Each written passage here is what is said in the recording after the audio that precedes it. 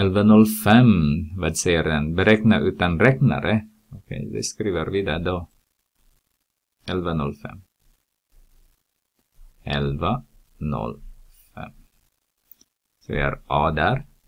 Vi har 3000 kronor. Subtraherar vi med 500 kronor. Så vad blir det? Vi har 1000 så vi har 500. Så man kan tänka så. Man kan tänka så att det är 2000 plus 1000 minus 500. Man kan tänka så. Men det är 2500 i alla fall. Det har du listat redan. Listat ut. B. 30 000 kronor. Nej, 30 000. Eh, subtraherar med 5 000 kronor. Det måste vara 25 000 kronor. Tänk på att du har 30 000 eller 30 kan du tänka minus 5, det blir 25. Men vi pratar om 1000 så vi måste sätta in 1000 också. C. 30 000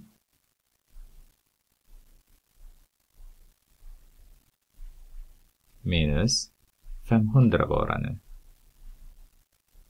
Kom ihåg att om jag har bara 1000 så har jag, om jag har 1000 minus 500 så har jag 500 till. Så det betyder att jag har bara 29 500 kronor kvar. Därför har jag tagit bort 1000 från 30 så har jag 29 000 kvar. Plus den där som är skillnaden mellan dessa två, differensen. Okej, okay. D. 3000 kronor. Subtraherar vi med 50. Så tar vi skillnaden mellan om jag har 100 istället nu.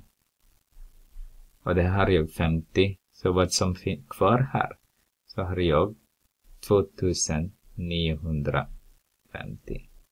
Alltså jag, jag tog bort tre, äh, 100 från 3000, det är 2900. Och adderar jag den som är skillnaden mellan dessa 100 och 50. Så har jag 2950.